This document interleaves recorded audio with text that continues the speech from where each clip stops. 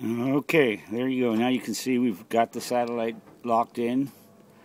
And I don't know, it took quite a while, but there it is. And this is the rest of the system here. This is the receiver.